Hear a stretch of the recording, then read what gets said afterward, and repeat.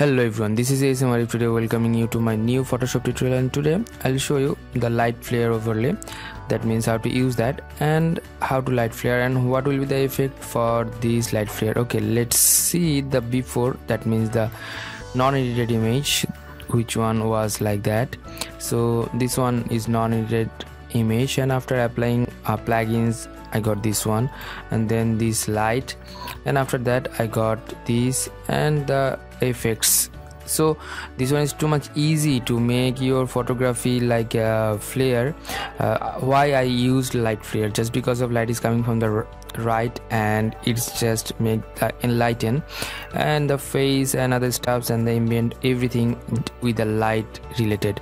So if I analyze the raw photo that is like that light is coming from the right side. That's why i just made it more prominent with the light flare this one.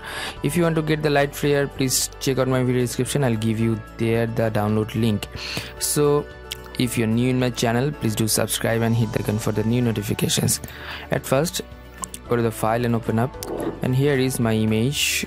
That is the stock image. I view that downloading in my video description. So after that just make copy by pressing ctrl j or command j from the mac. And then just go to the filter and photo toolbox skin finer if you want to know more about the skin finer please check out my video description. I'll give you detailed video link over there. And i'll increase the brightness and the shadow as well.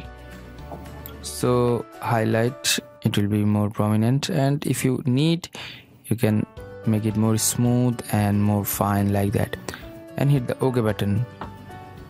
Color correction and the light face correction is done. Let's see.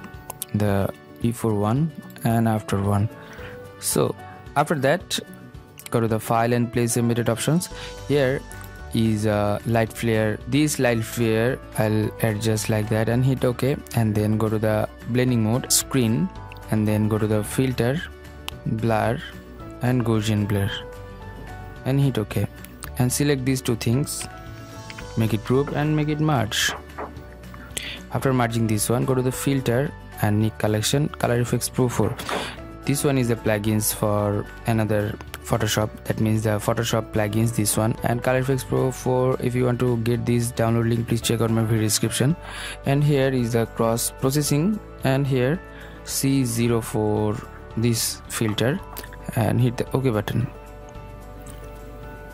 It will take time to load it up and give you the final output. So let's see the before one was like that normal ordinary image. And after adding the light you got a new amazing look of your photography. So thank you so much. Thanks for watching my video tutorial if you have any kind of question query request please do comment on my video comment section. And if you want to get the stocks and other stuffs please check out my video description.